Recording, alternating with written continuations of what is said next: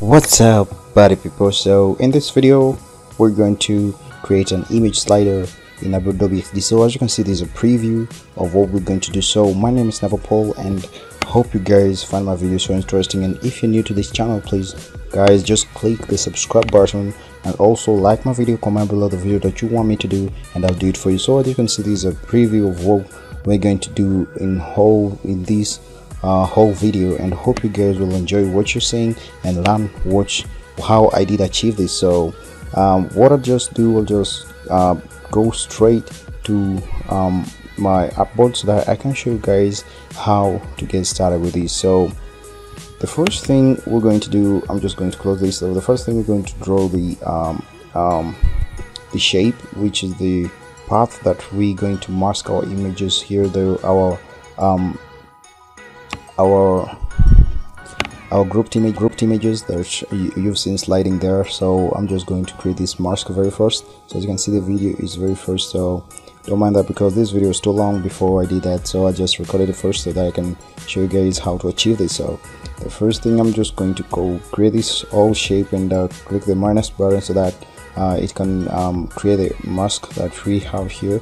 So as you can see um, um, we've created that. So what I'm going to do I'm just going to adjust. So the image that it's going to be masked here is a it's um grouped image of five images. So we just first arrange the images of how we want them to be and you mask with this shape here. So as you can see I've just masked my image and as you can see uh, the image is real good. So I'll just preview that. And as you can see we've achieved what we wanted. So it's really first but I hope you guys are seeing what I'm trying to do so I'll just position my image and also then uh, uh, preview it so that I can see um, I have what I want. So I'll just close this and uh, try to um, position everything. So the next thing I'm going to do I'm just going to create uh, same artboards drag the same artboards to create like five to six artboards so that I can uh, scroll over these um, the, the slide can be automated and as you've seen the preview that I've shown you. So I'll be quick with that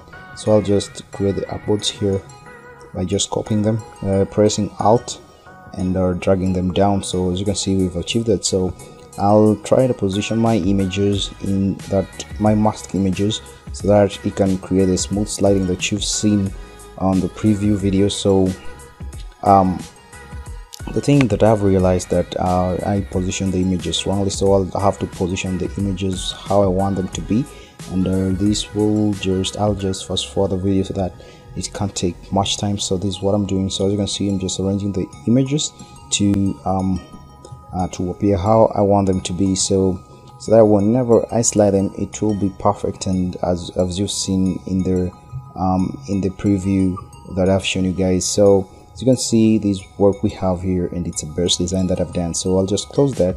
And the next thing I'm going to do guys I'm going to do away with the um the other artboards that I did so I'm going to delete them first so as you can see I'm deleting them.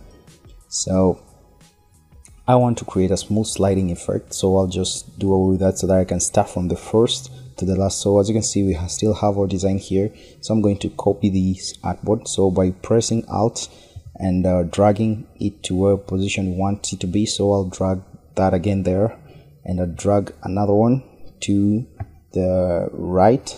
So let me just drag it there. So the last that since we have the five images so I'll have to use five artboards for the smooth sliding. So we can also achieve these by using components and state but I chose using different artboards because there's some things that if you use with um, component states you get limited factors. So uh, I I use uh, different uh, artboards so that it can I can have control have control of everything that I want to do. So as you can see I'm positioning my images to where I want it to be. So I'm almost done with the last so I'll just go to the last. So as you can see we have all the um, images on the five artboards. So the thing is we're going to prototype it so that it can appear at least um, how we want it to be. So I want whenever uh, in every few seconds it slides to the next image. So what I'll do I'll just um, go to my prototype there.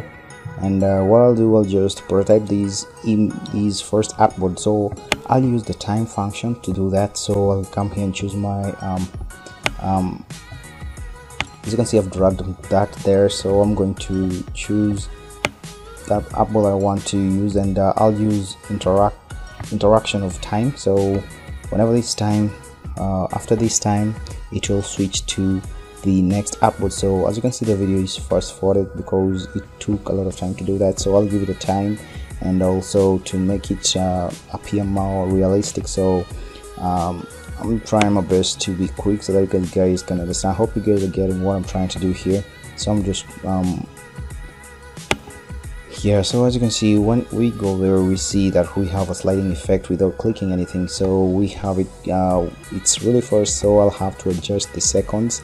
So what I'll do I'll just adjust the delays and uh, adjust the um, time that we want it to happen. So um, let's just have a preview of what we we have here. So as you can see we've achieved that. So thing is I'm going to change the time there. Um, I'll change the time so that we can have it to slide like um, the sliding effect to be to appear more realistic and not that fast to disappear. So um, as you can see I'm just preparing that and making it to be um, very good by just giving it four seconds. Oh so as you can see it's smooth how we want it. So it depends what we what you want. So it's shifting to after every second it shifts to the next uh okay it takes five seconds to move to the next artboard so yeah. So what i'm going to do i'm just going to play around with user time here so that and also i'm just going to give it some delay so that it cannot just appear uh it cannot just shift to another artboard abrupt or zero second no delay. So i'll give them delays so that we can have something more realistic. Hope you guys are getting what i'm, I'm going to do. So guys so as this video continues uh, i have a facebook page is web, WebAppCode. I have a patreon page. You can support me on patreon page so that we can have this video posted like every day by just supporting me uh, at my patreon page which is a WebAppCode. And also my um, instagram page is WebAppCode. And uh, also my okay there's this website that i have it's net net developed that you can check it out. So as you can see we've gotten what we want. So the next thing i want to do is i want to make the buttons to whenever we click the buttons it shifts it slides to the same to the other slide. So we're using auto animation because auto animations makes things appear more smooth and uh, uh, it's hard to notice that it's shifting to another artboard by uh, giving it some time so what I'll do I'll just come here and uh, try to um, give these whenever we click we first of all I'll have to design the buttons to have five five buttons so that whenever one clicks on one button it up it um, gets him to him or it gets the user to the next uh, so I thought of using um, um,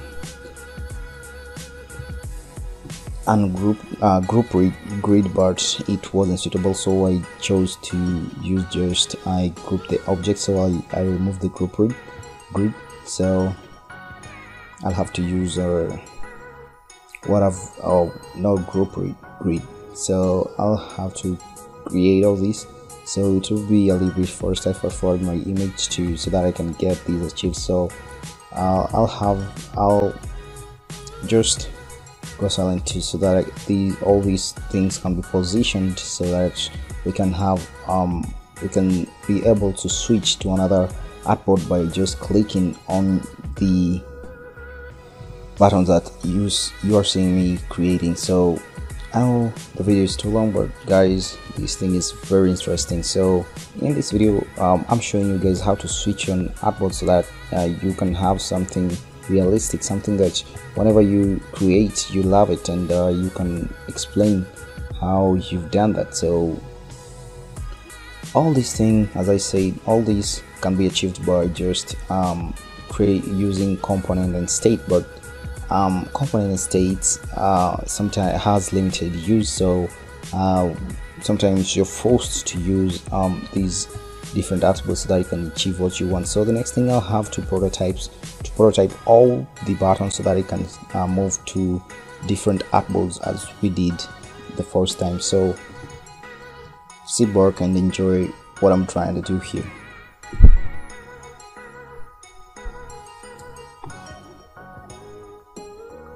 So we'll do this to all the buttons and make sure you align them according to the artboard so you'll be keen on which artboard that you artboard that you trying to suit them to. So i know what artboards i'm using so as you can see it's really really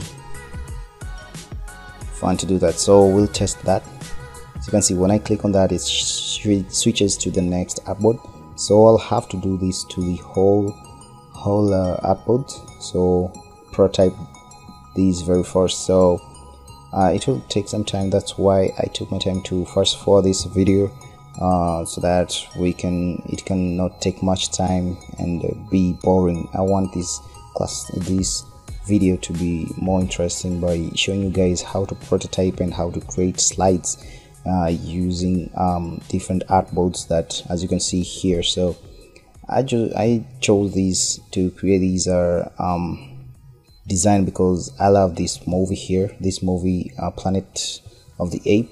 It's a movie that I really enjoyed it and I really love the story. So as you can see uh, whenever we click on that all the artboards have the same um, effect. So when we click on that it switches to different artboards and this is really really good achievement. So guys thank you guys for taking your time watching this video and hope you guys have learned something and uh, i wish you guys to join me to the next video which i'll be showing you guys more stuff. So thank you guys for watching and hope to see you in the next video. Don't forget to subscribe don't forget to like don't forget to share and follow me on my patreon pages web code bye